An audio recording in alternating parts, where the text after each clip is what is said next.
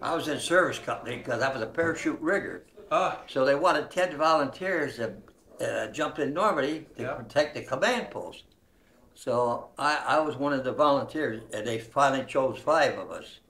So we were supposed to take care of the colonel and everything, but he didn't jump near us. He, I think he was in the third plane. I was in the first one, and he got captured and shot the third day. I Thank think. you. Where's your rigger wings at? Huh? Where's your rigger wings? I never wore them. You know what I'm talking about, right? yeah, the Yeah. rigger wings. Yeah. Yep.